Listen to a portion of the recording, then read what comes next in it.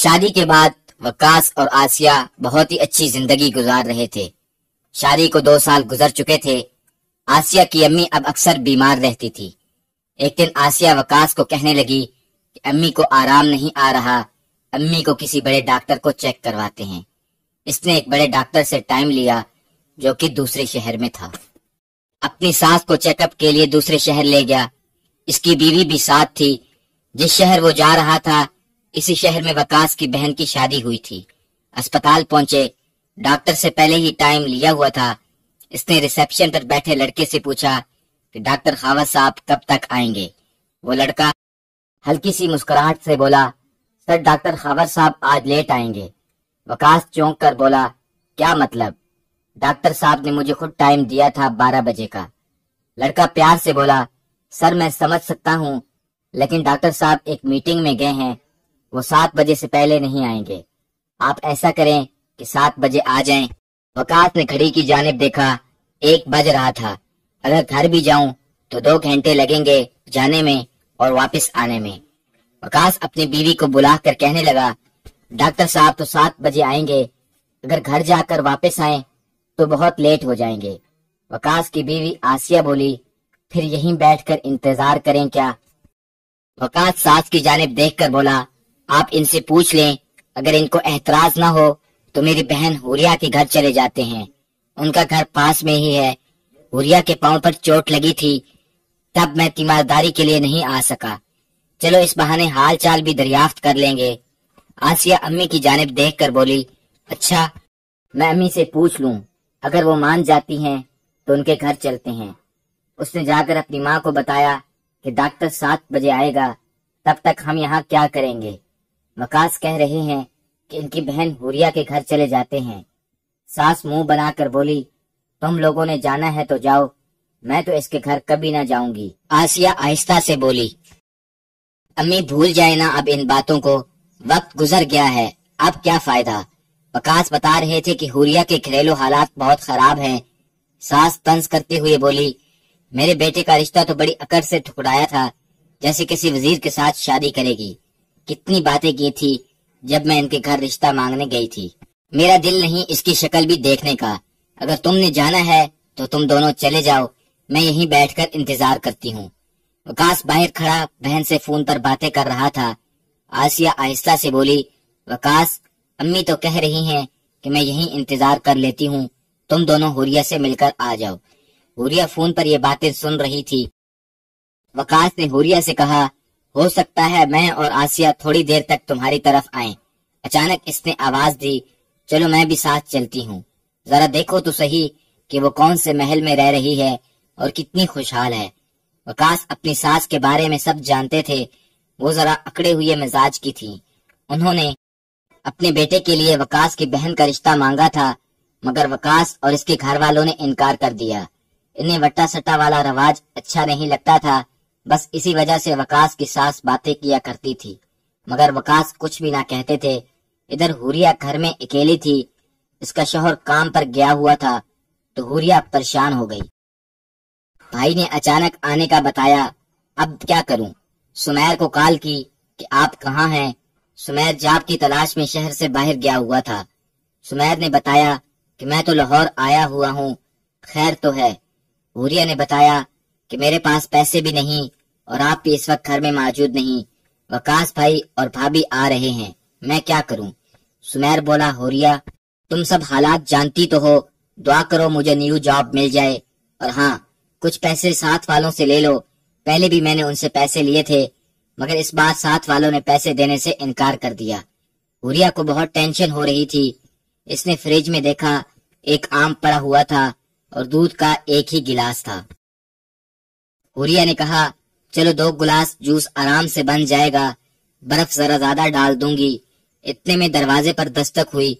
हुरिया ने दरवाज़ा खोला तो वकास ने सलाम किया और सर पर हाथ फेरा। घर में दाखिल हुए। ये क्या? वकास भाई ने तो कहा था कि हम दो ही आएँगे। साथ वकास भाई की सास भी आ गई। हुरिया भी परेशान हो गई। अब क्या करूँ? मैंने तो मुश्किल से दो गिलास जूस अरेंज किया था। अब तीसरे गिलास का क्या करूँ? पहले ही बर्फ़ और पानी मिलाकर गुजारा किया था। सास हुरिया को देख रही थी। हुरिया ने उस वक्त वॉशिंग मशीन लगाई हुई थी और कपड़े धो रही थी। उसकी थोड़ी सी हालत भी बिगड़ी हुई थी। सांस तज करते हुए बोली, इतने कपड़े किस किस के हैं? शोहर ने धोबी की दुकान तो नहीं बना ली। हुरिया मज़ाक में बात टाल गई, नहीं खाला, सुमैर ऐसे काम नहीं करते। हुरिया किचन में गई, परेशान थी कि अब क्या करूँ? क्योंकि जूस के तो सिर्फ़ दो गिलास हैं। भाई ने सास के बारे में बताया ही नहीं था कि वो भी साथ आएगी। अगर इसको पता चला तो मेरा बहुत तमाशा लगाएगी। हुरिया ने दो गिलास जूस एक सास को दिया और एक भाभी को, और एक गिलास भाई की जानब बढ़ाया। ये ले भाई, आपकी favourite cold drink Sprite. Waqas ने मुस्कुराते हुए गिलास पकड़ लिया। वकास ने जब घूंट भरा तो चौंक गया, क्योंकि ये तो पानी है।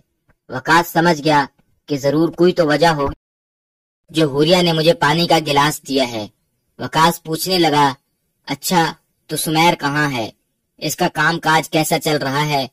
वो आहिस्ता से बोली, सुमेर कह रहे थे कि इनशाला इनको कंपनी वाले प्रमोशन देंगे। इतने में वकास की सास बोलने लगी, वकास, ये जूस बहुत ज़्यादा ठंडा है, मुझे तुम स्प्राइट दे दो। वैसे भी स्प्राइट मेरे मैदे के लिए बहुत ठीक है। हुरिया ये बात सुनकर घबरा गई और वकास की जानब देखने लगी। वकास भी चुप हो गया। वकास ने हुरिया की जानब देखा, फिर मुस्कुरा कर बोला, सासू अम्मी, मैंने आधे से ज़्यादा तो पी ली है। हुरिया, तुम एक काम करो, इनको दूसरा गिलास ला दो। हुरिया बिचारी घबरा कर उठने लगी। तो वकास बोला, तुम यहीं बैठी रहो, पाँव के जख्म का ख्याल रखा करो और ज़्यादा चला फिरा ना करो। मैं जाकर ले आता हूँ। वकास जल्दी से उठा और किचन में गया। उसने जाकर फ्रिज में देखा तो फ्रिज में कुछ भी नहीं था। वकास समझ गया कि पानी देने की वजह यही थी। वकास ने खाली गिलास नीचे फेंका। गिलास टूटने की आवाज़ सुनकर हुरिया जल्दी से उठी। वकास, भाई, क्या हुआ? वकास हल्का सा मुस्कुराया। कुछ नहीं, बोतल मेरे हाथ से गिर गई है। मैं ऐसा करता हूँ, अम्मी को दुकान से ला देता हूँ। सास जूस का घूट भरते हुए बोली, रहने दो अब। मैं ये जूस ही पी लेती हूँ। ये बात सुनकर हुरिया की जान में जान आई। हुरिया शर्मिंदा नज़रों से भाई की जानेब देखने लगी। वकास ने मुस्कुराते हुए कहा, तुम जरा सी भी टेंशन ना लो, मैं समझ चुका हूँ। बस तुमने अंदर जाकर ये कहना है कि मैं आप सब के लिए बिरयानी बनाती हूँ। बाकी मैं खुद ही संभाल लूँगा। सब आपस में बातें करने लगे। हुरिया ने पूछा, खाला को क्या हुआ है? और डॉक्टर कब वापस आएगा? तो हुरिया कहने लगी, भाई मैं बिरयानी पकाऊं। फिर आपके लिए वकास की सास कुछ बोलने लगी। तो वकास झट से बोला, नहीं नहीं, हुरिया, अब हमारे पास टाइम बहुत कम है। डॉक्टर एक घंटे तक आ जाएगा, अब हमें जाना होगा। बिरयानी उधार रही, फिर कभी सही। वकास ने आसिया से कहा, आसिया, चलो, छह बज चुके हैं। अस्पताल में बहुत ज़्यादा रश हो जाएगा। अम्मी, चले क्या? सास मुँह बनाकर बोली हाँ चलते हैं। अब जब इसको कोई बात न मिली तो जाते हुए तंज कर गई कि, हुरिया, कुछ पैसे इकट्ठे करके नया पंखा ले लो। ये पंखा हवा नहीं देता। बहुत पुराना हो चुका है। हुरिया खामोश रही। जाते हुए भाई ने सर पर हाथ फेरा और हाथ से मुसाफा करते हुए पाँच हज़ार रुपए चुपके से मेरे हाथ में थमा दिए और आहिस्ता से बोले स्प्राइट बहुत मज़े की थी। हुरिया मुस्कुराने लगी। भाई ने दुआ दी और कहा कि, खुश रहो और हमेशा अपना ख्याल रखा करो। मैं चक्कर लगाऊँगा किसी दिन, और किसी दिन तुम सुमैर को भी साथ लेकर आना। मैंने तुम लोगों के लिए कुछ सामान लेकर रखा है। हुरिया की आँखें ना जाने क्यों नम हो गई। वकास भाई ने आँसू साफ़ किए। पागल खुश रहा करो। इस तरह प्यारे भाई ने मेरी माली कमज़ोरी पर पर्दा डाला और मेरे साथ हमदर्दी से मदद भी की। भाई तो बहनों की जान होते हैं, बहनों का मान होते हैं। भाई की थोड़ी सी मोहब्बत थी, कुल कायनात होते हुए बहनों के लिए। बहनों से शफकत मोहब्बत हमदर्दी किया करो, क्योंकि बाप का अक्स भाई में देखती हैं।